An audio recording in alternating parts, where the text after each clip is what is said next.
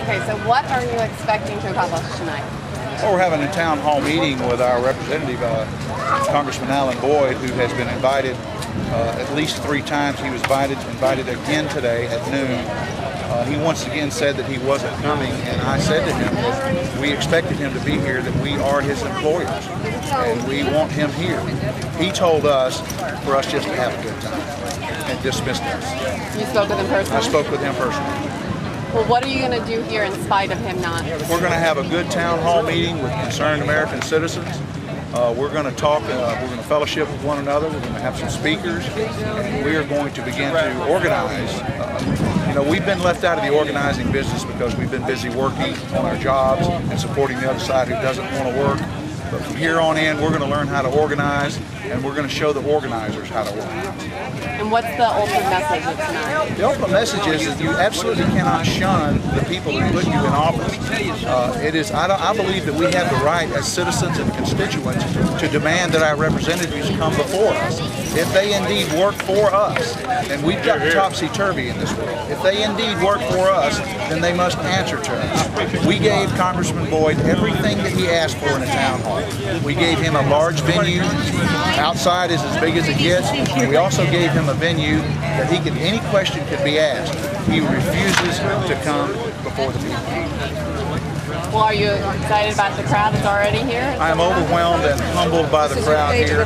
We expect people of uh, Republicans, Democrats, Independents, everybody we want to come together so we can meet one another and rally around the common cause of saving this greatest nation that God has ever put on the face of this earth. Thank you very much. Well, well we're going to learn, folks.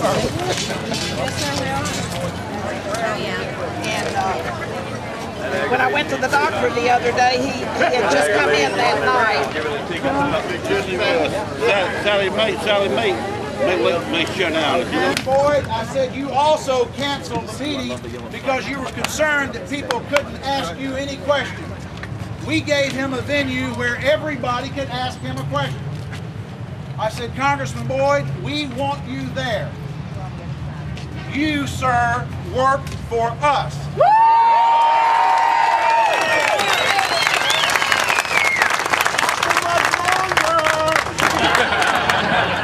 he turned to me and said, well, y'all have fun. Ha!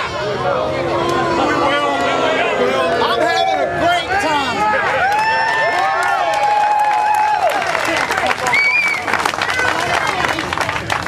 We are handing out sheets of paper. If you haven't gotten one yet, uh, we'll get some to you. We've handed out the health bill, the 1,000 page health bill.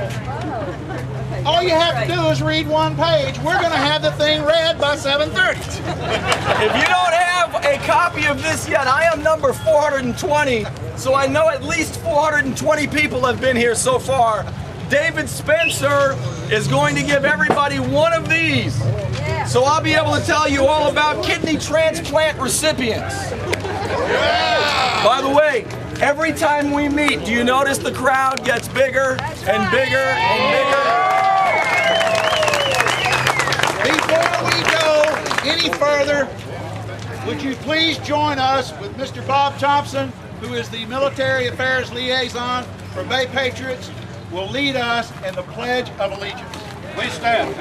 Bob, we've got this flag, we've got the larger flag there, whichever one you want. I pledge allegiance to the flag of the United States of America and to the republic for which it stands, one nation, under God, indivisible, with liberty and justice for all. Thank you all.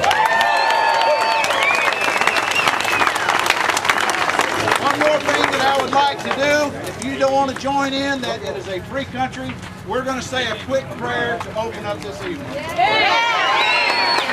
Oh, by the way, we're on a school campus.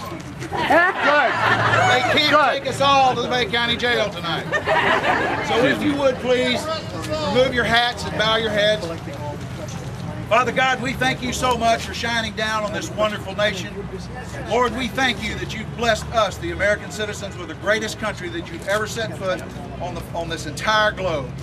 We would ask it in the coming days and the months that you would give us direction, We pray for all of our elected officials and those that are in authority over us, that they would become godly men and women seeking godly counsel.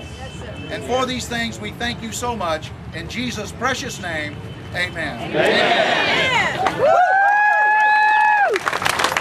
probably just Sit up, Boyd, sit up. Hold your head up. We probably just broke about a half a dozen laws, but I don't give a rat's patootie. I just have one other thing. During the meeting today with Allen Boyd, everyone in the meeting really ragged the congressman out pretty bad, and he had it coming. He told the crowd that he was really tired of people running down the government. That this that this country was great because in, the, in all the good work that the government did. The government, the federal government of the United States of America has never shed one drop of blood on a beach at Normandy. Amen. The federal government of the United States has never sat three decks below the waterline in a merchant marine ship on a moonlit night in the North Atlantic wondering if it was the last night that he was going to be there. The federal government of this nation has never stomped through a rice paddy in Southeast Asia to take a hill that they took a week before that the politicians said they had to turn back.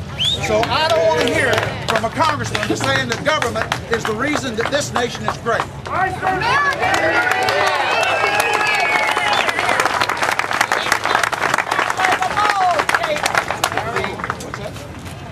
government is not in Washington, D.C.